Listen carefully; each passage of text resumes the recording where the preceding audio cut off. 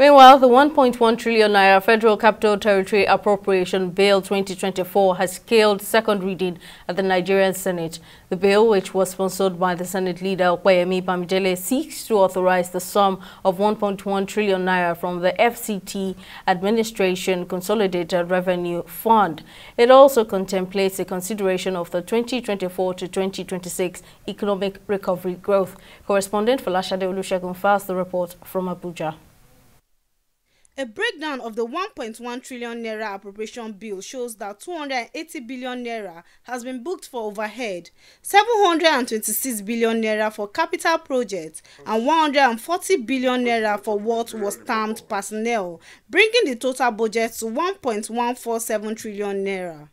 Leading the debate on the general principles of the bill, Senate leader acknowledged that the appropriation bill took into cognizance the FCT administration's revenue and expenditure forecast, which are in tandem with fiscal and developmental policies of the federal government.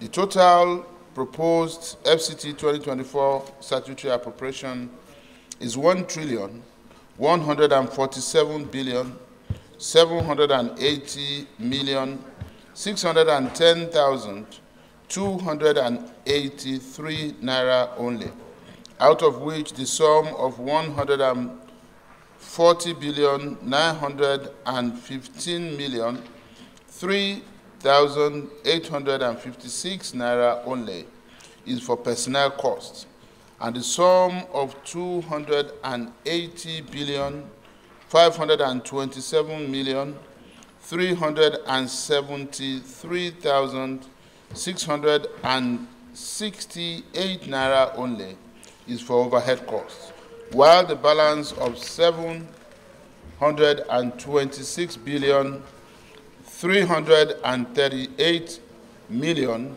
232,759 naira only is for capital projects. During the debate, Deputy Senate President called for support to ensure swift passage of the bill. The minister was here and he rolled out all what he intends to do in terms of the security of lives and properties within the FCT, in terms of infrastructure. In fact, in, in, you know, he brought about, rolled out issues to do with the innovations he wants to bring to bear in the FCT in order to change the trend of how things are done here.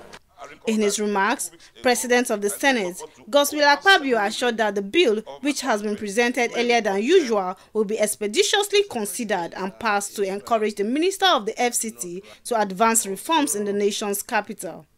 Seeing this coming now is very highly commendable.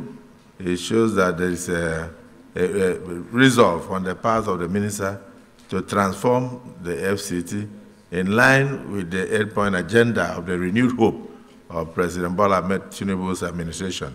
So this Senate has noted his efforts and we commend his efforts and we hope that other uh, parastatals and other agencies of government whose budgets are yet to be considered will follow suit and not try to bring their budgets in September or October.